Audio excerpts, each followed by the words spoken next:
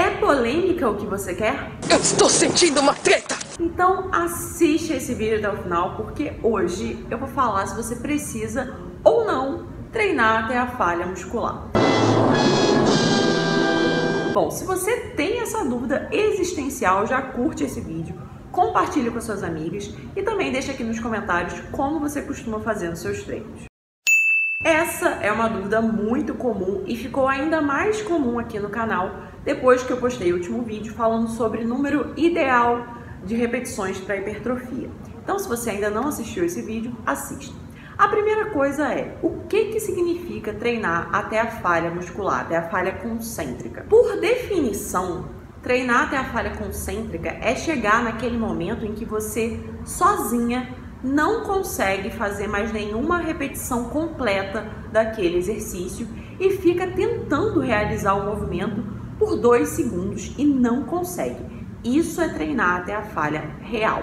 É, tá bom. É bem provável que você não veja muitas pessoas treinando dessa forma nas academias, especialmente quando elas treinam sozinhas, né, sem um personal, e especialmente mulheres que têm um pouco mais de receio de pegar peso e etc. Mas é até por uma questão de prudência também. Você imagina treinar até a falha real no agachamento ou no supino, né? A barra vai cair em cima de você. Ainda que tenha trava, é um pouco complicado. Só que entre você treinar até a falha concêntrica e passar muito longe disso, existe a falha voluntária. O que, que significa isso? É você treinar até um momento de muito esforço, talvez até 10 para você fazer mais uma ou até meia repetição. Porém, por precaução, né, para evitar se machucar, você interrompe o movimento voluntariamente. Treinar dessa forma também vai te trazer resultado. É verdade. Agora, por que, que eu, Carla, sempre vou dizer para você treinar até a falha, pelo menos tentar?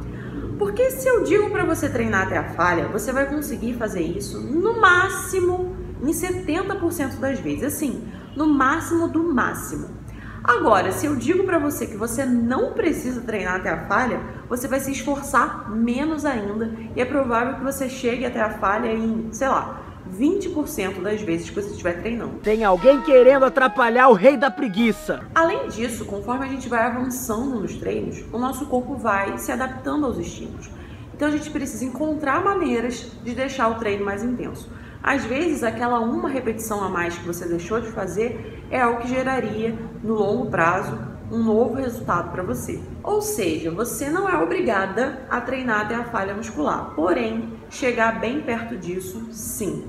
Se por um acaso você não consegue treinar até esse momento, é importante, interessante e super recomendado que você aumente o volume do seu treino. Isso significa fazer mais séries daquele exercício ou fazer mais exercícios para as musculaturas que você não consegue treinar até a falha. Essa é uma maneira de você tentar equalizar o esforço, né, comparando a quem treina até a falha ou próximo disso.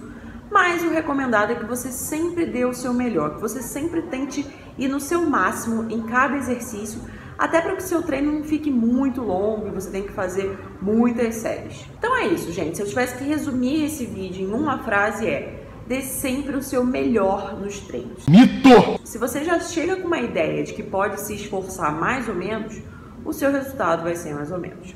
Bom, ativa as notificações para você ser avisada sempre que eu postar um novo vídeo e coloca essas dicas em prática, tá bom? Beijo grande e arrasa nos treinos.